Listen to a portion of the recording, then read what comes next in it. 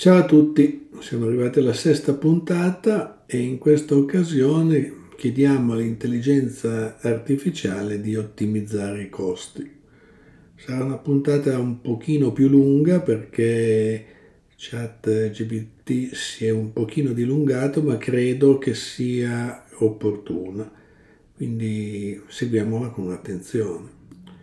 Quindi ci eravamo lasciati nella quinta puntata di quali costi devo tener conto e lui dice sì, è importante tener conto dei costi per determinare il margine di profitto necessario per mantenere un buon profitto. I costi da considerare possono includere costi di acquisto, quindi il costo per acquistare prodotti freschi dai fornitori, costi di trasporto, i costi per trasportare prodotti freschi dai fornitori al vostro magazzino o al vostro punto vendita, costi di magazzinaggio, i costi per conservare i prodotti freschi nel magazzino, come l'energia elettrica, il personale, gli spazi di archiviazione, costi di gestione per gestire il magazzino e il punto vendita, come il personale, i servizi generali e le attrezzature, costi di marketing e pubblicità, costi per promuovere prodotti e attrarre clienti.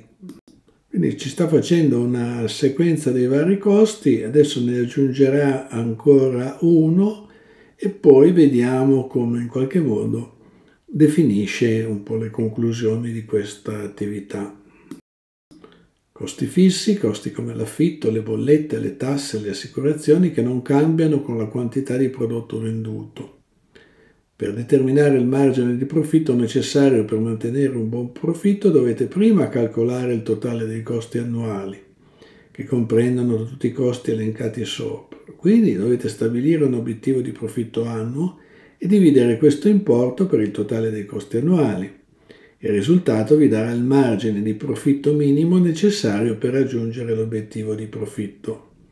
Quindi vedete come è entrato bene nel tema dell'analisi di quello che sono i costi per arrivare a determinare questo profitto. E qui ci fa l'esempio. Ad esempio, se il totale dei costi annuali è di 100.000 euro, l'obiettivo di profitto è di 20.000, il margine di profitto minimo necessario sarà del 20%, 20.000 diviso 100.000 uguale a 20%. Questo significa che dovete vendere i prodotti freschi a un prezzo che vi, che vi, garantisca un margine di profitto del 20% rispetto al prezzo di costo per raggiungere l'obiettivo di profitto. È importante tenere presente che questo è solo un esempio e che i costi e l'obiettivo di profitto possono variare a seconda della vostra attività. È importante effettuare regolari valutazioni delle spese e del margine di profitto per verificare che siate sulla strada giusta per raggiungere i vostri obiettivi finanziari. Cioè, capite che sta dicendo molte cose che purtroppo in tante aziende, neanche tanto piccole, non vengono verificati.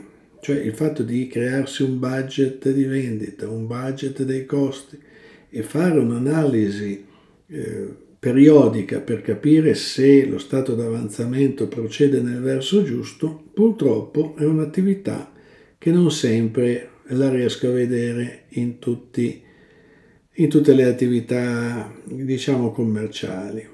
E questo è un bel problema.